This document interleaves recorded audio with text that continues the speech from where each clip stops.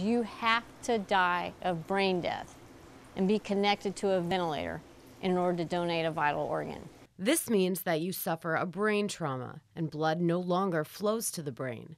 But many people are terribly undereducated in the area of organ donation. Kathy Vochoska used to be one of them until she became a living donor for her son who needed a kidney three years ago. Because I didn't know anything about it.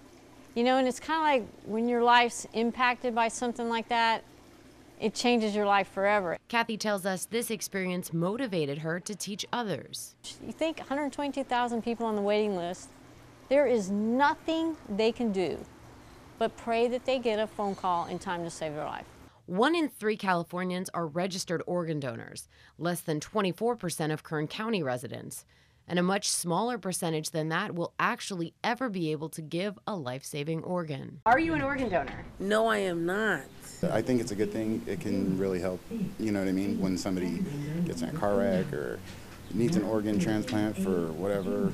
Um, I just haven't done. Why did you choose to be an organ donor? Um, I just think about what would happen if, you know, like my daughter got hurt or someone. One in three.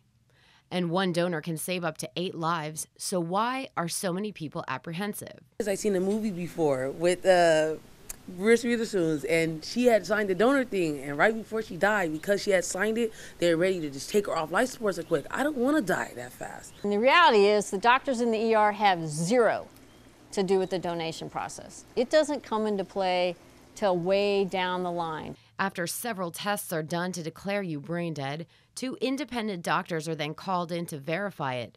And then an organ procurement organization is called out to determine if the patient is even a viable donor. So, knowing everything was done to save you may motivate more people to register. Now you make me want to go in and get it done.